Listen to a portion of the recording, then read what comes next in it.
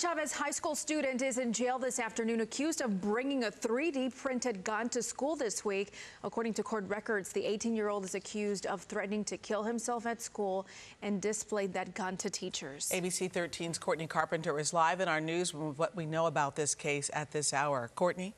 Yeah, Gina, according to HISD, this incident happened on Tuesday. That student is now in jail, his bond set at a million dollars.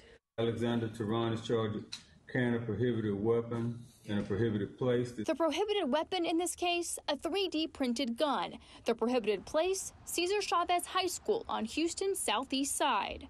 The motion cites that the defendant brought a 3D printed firearm to school, threatened himself in the school, displaying the firearm to teachers. HISD tells us this happened on Tuesday. When we asked the district about what happened, they refused to tell us if anyone was arrested in the incident.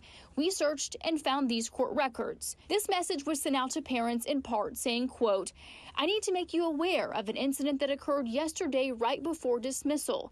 A student went to an office asking for assistance. We discovered that the student had a prohibited weapon in his possession. Our officers responded and the weapon was confiscated and no one was injured. The message failed to tell parents that the weapon was a gun and that it was pulled on staff members. Mr. Tehran, are you a U.S. citizen? Yes. Are you requesting a court appointed lawyer?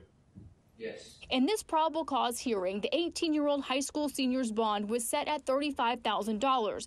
A district court judge, however, raised his bond to $1 million. The Harris County District Attorney's Office would not comment on this case, but did tell us the 3D printed gun had no ammo and that Tehran will get a mental health evaluation. We did reach out to Tehran's family, who had no comment, and to his attorney, who did not respond. He's due back in court on May 4th. Reporting live in the newsroom, Courtney Carpenter, ABC 13 Eyewitness News.